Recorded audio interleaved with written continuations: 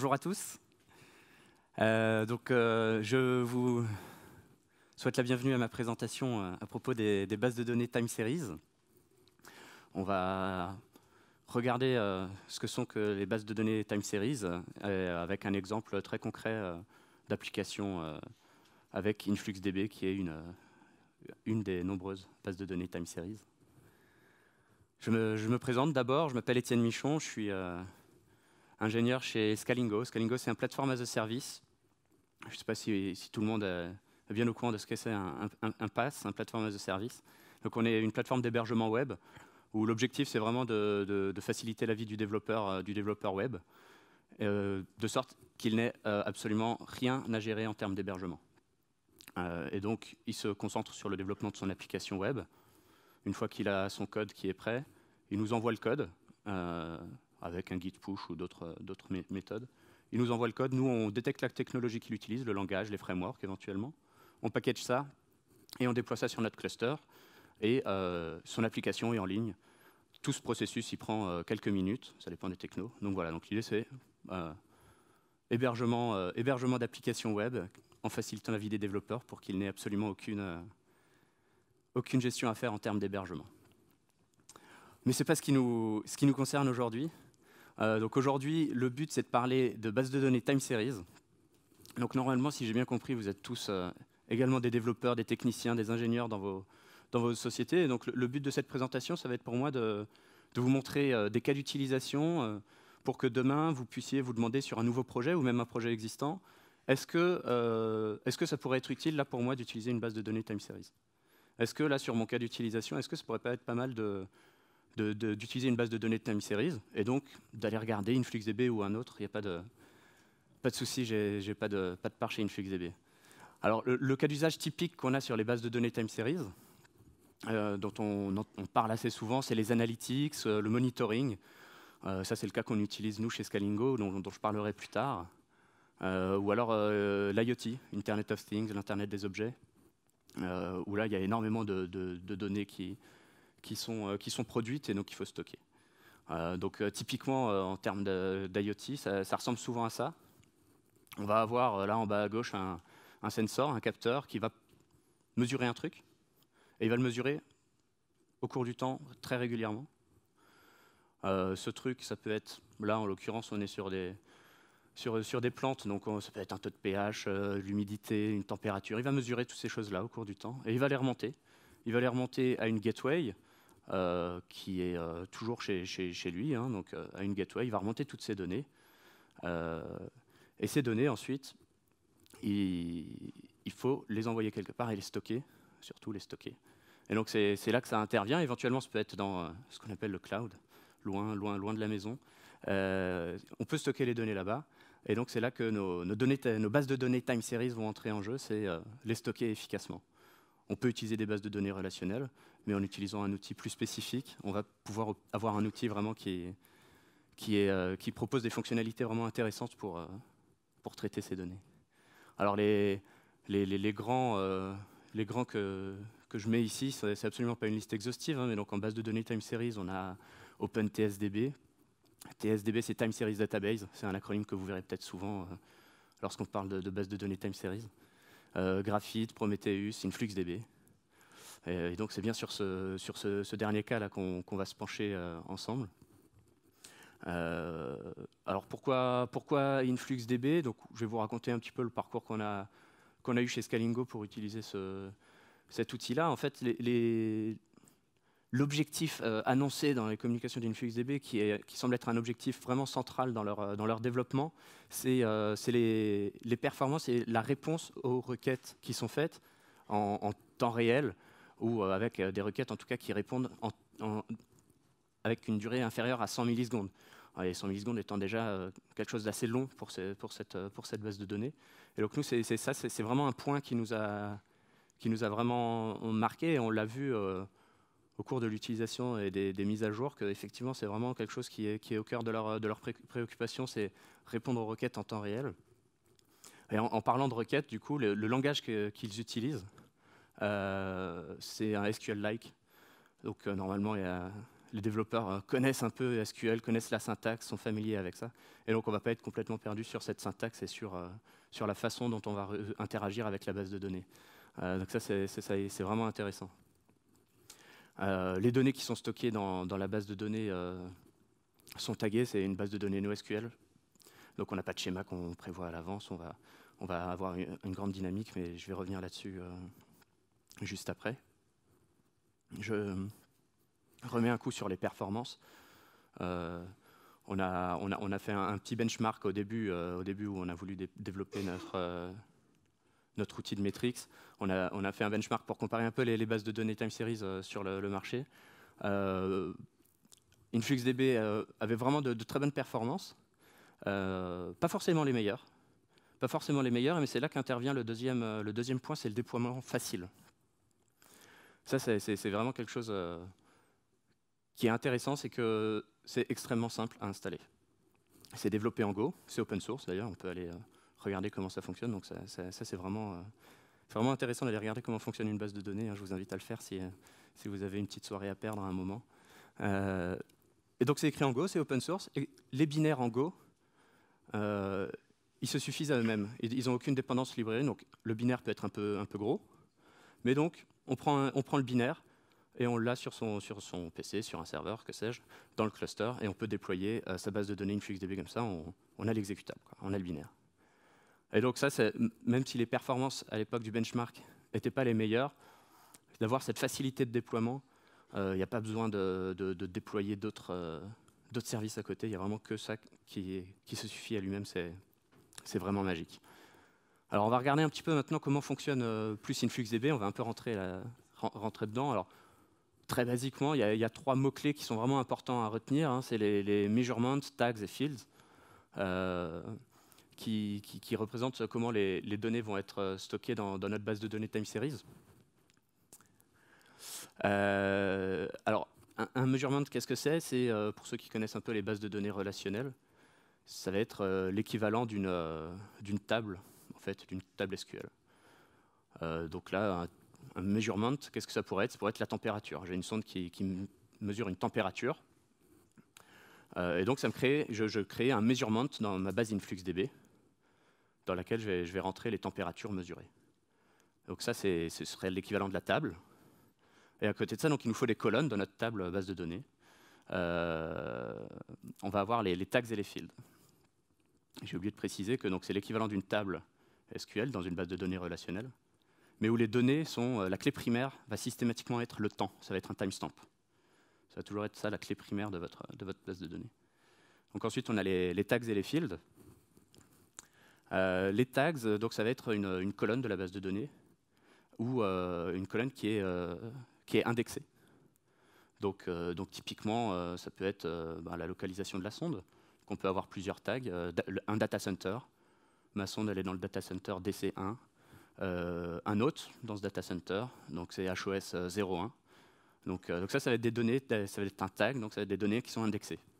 Et donc, euh, lorsqu'on va vouloir faire des requêtes, si les données sont indexées, les réponses viennent beaucoup plus rapidement que si elles ne sont pas indexées. Hein. Et enfin, on a les fields. donc les fields, là, ça va être des données, mais qui ne sont pas indexées. Et donc typiquement, la valeur qui est remontée par la sonde, ça, c'est une donnée qui, n'est pas indexée. Donc, dans notre cas ici, on aura une sonde qui va injecter des measurements, en measurement une température dans un data center euh, d'une des machines physiques du data center. Et la valeur que je vais mesurer à un instant donné, c'est 47. Euh, Le temps étant systématiquement euh, fourni avec, et c'est la clé primaire de notre, de, de notre table.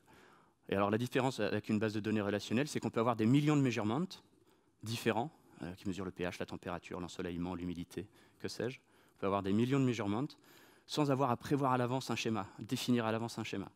Donc euh, si j'ai une nouvelle sonde qui mesure une nouvelle chose, elle peut remonter une nouvelle donnée et on va pouvoir euh, créer une nouvelle measurement, une nouvelle table avec les résultats de cette sonde-là, etc., etc. Avec, si j'ai déjà une sonde température, mais j'aimerais rajouter un nouveau tag sur les, futures remontées de métriques, eh ben, je peux rajouter un nouveau tag, ce n'est pas un souci. On n'est pas dans une base de données relationnelle où, le, schéma est plus ou moins figé à l'avance.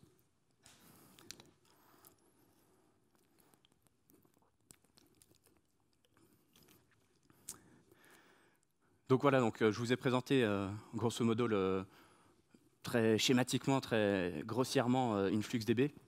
Donc maintenant, on va pouvoir un peu regarder plus concrètement nous notre cas d'utilisation chez Scalingo.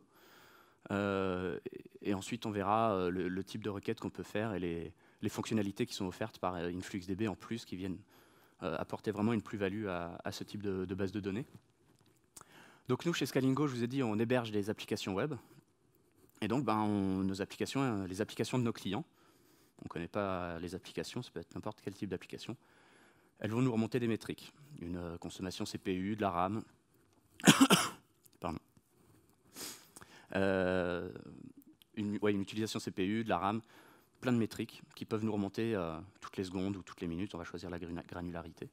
Mais donc on a énormément de données comme ça qui nous remontent.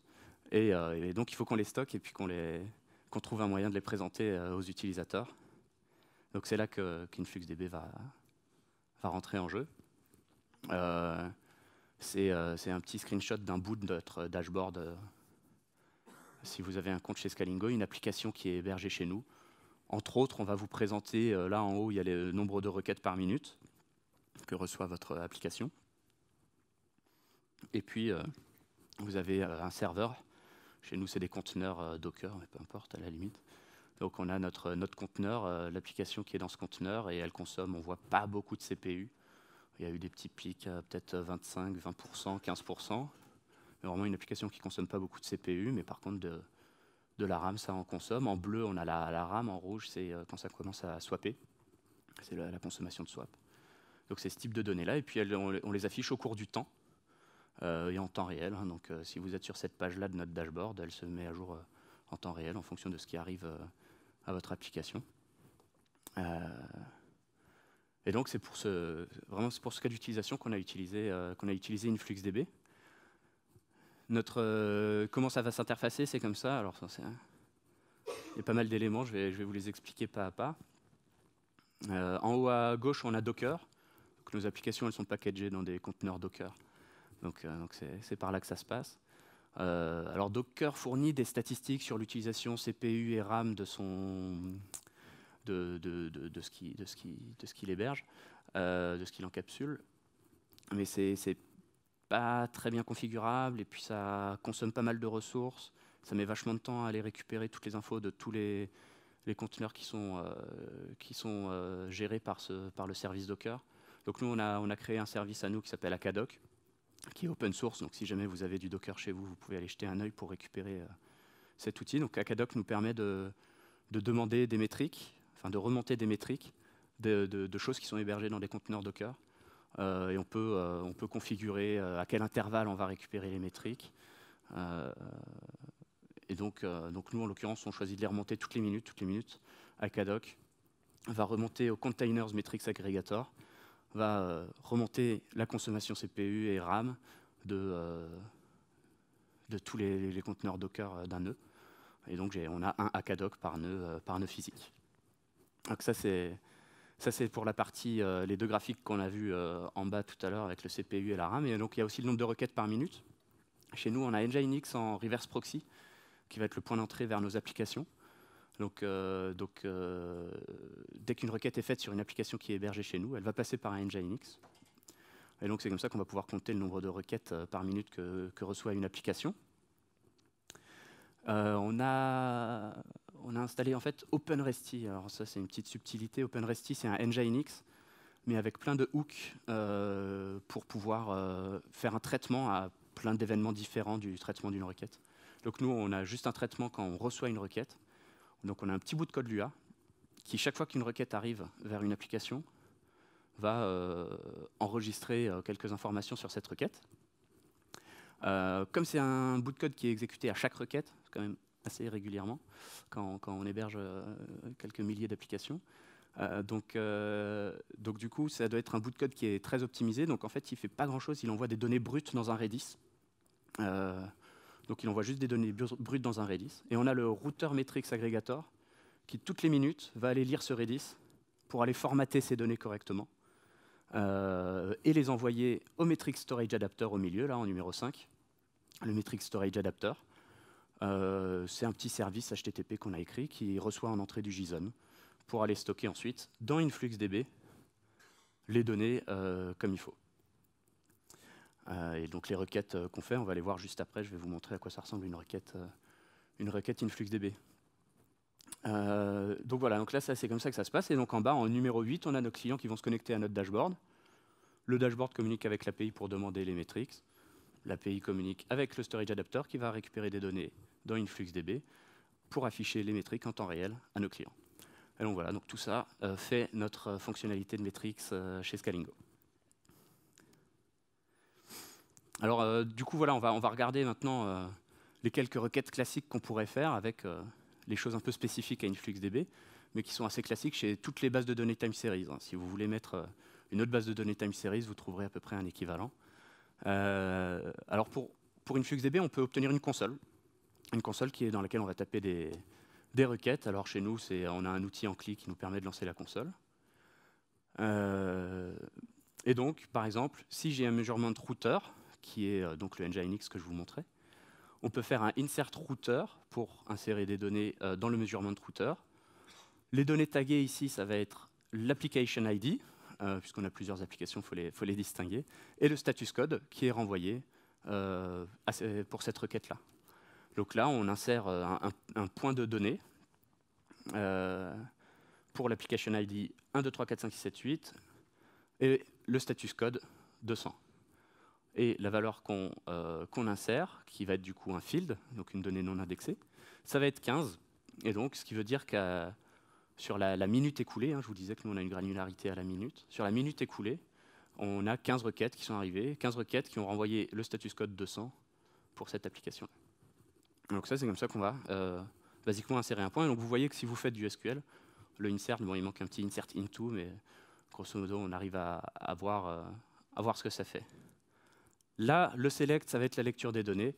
Euh, on, voit un petit peu plus, on, voit que c'est un peu plus complexe mais en fait pas tant que ça. Euh, le select, on connaît quand on fait du SQL, donc je ne m'attarde pas dessus, on somme des valeurs.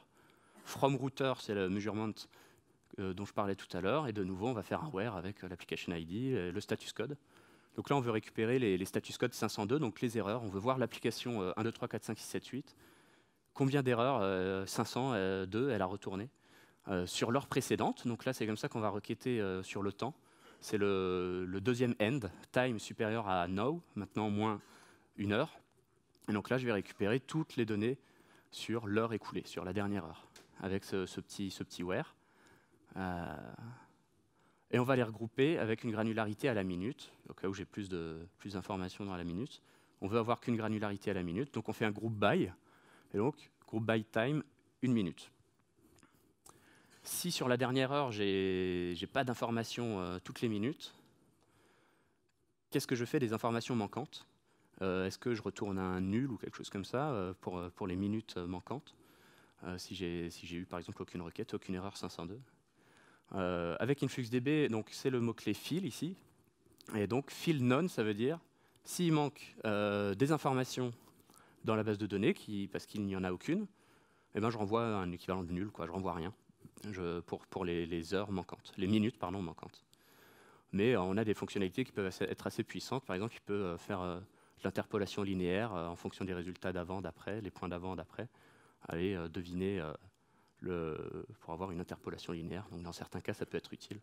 Pas trop dans, notre cas. L'order by, je ne l'explique pas, pareil pour le limite. C'est assez classique. Et enfin, deux, types de requêtes vraiment caractéristiques des bases de données time series. Ça va être la rétention des données et le downsampling, que je vais expliquer juste après. Donc sur la rétention des données, vous voyez bien qu'on peut avoir beaucoup de, données qui arrivent quand on est sur ces données euh, temporelles-là, ces données eurodatées. Euh, et donc on peut dire qu'après un certain temps, on jette les données. Et donc ça, ça se fait automatiquement euh, avec InfluxDB. On crée une rétention policy, on lui donne un nom. Donc là, one year, comme ça on se, doute qu'on garde les données d'une année. Toujours on router, donc c'est le measurement de router, pour une durée de 365 D donc 365 jours. Euh, réplication 1, c'est au cas où on a plusieurs, euh, on a scalé horizontalement notre InfluxDB, donc là, euh, on n'a qu'une seule instance d'InfluxDB, qu'on s'en fiche un petit peu, mais c'est obligatoire de le mettre. Et default, c'est la retention par policy par, par défaut. Donc chaque fois que vous ferez un insert into, ça va dans la rétention policy par défaut. et au bout d'un an, le point de données sera automatiquement supprimé avec cette, avec cette ligne-là.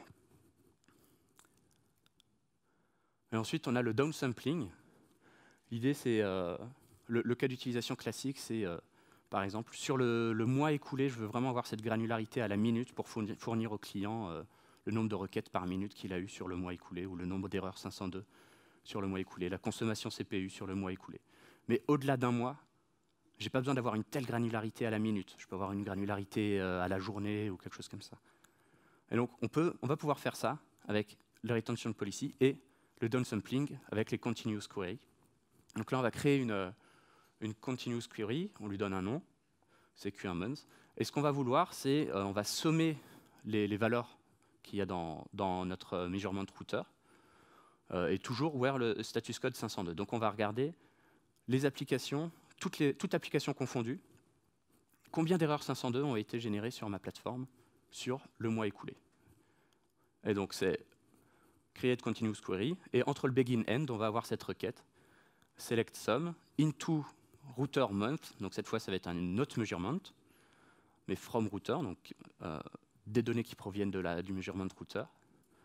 On conditionne sur le status code. Et on fait un group by time 30D, donc un mois, 30 jours, euh, pour, euh, pour avoir un seul point de données pour le mois complet. Et donc là, on va avoir sur le mois complet la, somme de toutes les, valeurs. Et donc ça, ça va être le, deuxième, la deuxième fonctionnalité vraiment très intéressante pour, euh, pour ce qui concerne les, bases de données time series. Donc voilà, ça va s'arrêter là pour moi. Donc en conclusion, en fait, on a depuis un an en production euh, InfluxDB pour toutes ces histoires de metrics. On a fait une estimation grossière du nombre de points de données qui ont pu être euh, remontés. Donc on, doit avoir, je pense, entre 4 et 5 milliards de points de données dans notre InfluxDB. Pour une base de données time series, c'est pas si gros que ça. C'est pas mal, mais ça, reste modeste. Ça reste modeste. Mais ce, qui est, vraiment intéressant pour nous de noter, c'est qu'en gros, on a 1 gigaoctet de consommation de RAM. Ça bouge pas trop. Euh, donc notre base de données, elle consomme pas tant que ça. Euh, et ça prend 6 gigas sur le disque. Donc à nouveau, c'est pas, pas gigantesque, donc on a encore de, la marge pour voir venir. Et, c'est extrêmement stable. C'est une partie de notre infra en fait, qui se fait complètement oublier, qui plante jamais, elle est dans un coin. On sait qu'elle existe, mais on n'a jamais besoin d'intervenir dessus. Donc nous, on est, vraiment très content d'avoir utilisé une FluxDB. C'est pour ça qu'on voulait partager un peu cette expérience, euh, avec vous.